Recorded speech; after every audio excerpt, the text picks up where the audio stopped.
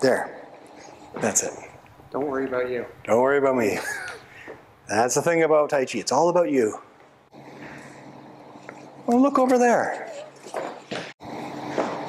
So I find myself tensing up when there's this pressure coming in. Mm -hmm. um, yeah. What does tensing up mean?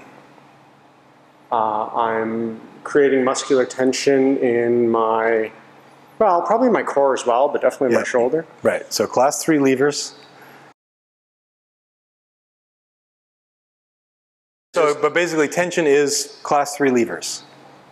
Because every joint, that's a class three lever. Tension is also lateral shear modulus. So It's shear modulus. So you're tense from side to side. So relaxation means that I cannot push anything that is not going through your center into the ground. That's it. Nice. That's it. More relaxed. There you go. Uh, there's a class three lever.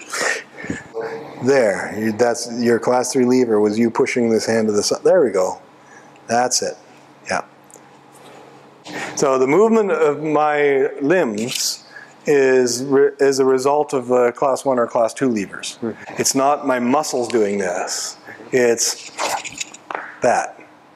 Right? So the body does this and, and moves the hand.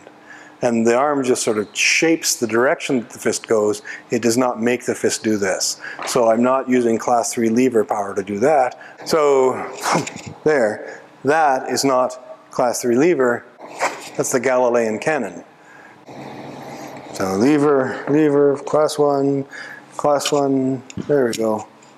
Scaring you, you're tensing up. So centripetal, get underneath it. Support it this way. That's it. Yeah. Only a few more decades. Only a few more seconds. Three months.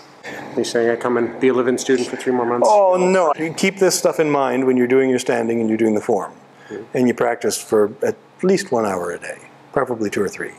Then in about three months you'll be able to just do that Cool. with some people.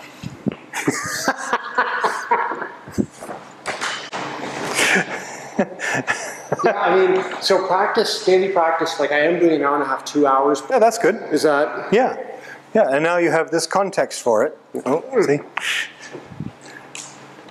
So, because sometimes I'm not sure when people say two hours, whether that's just two hours of the form plus all the other joint loosening and standing and so on. Well, well, what I find is that the form does most of it for me now.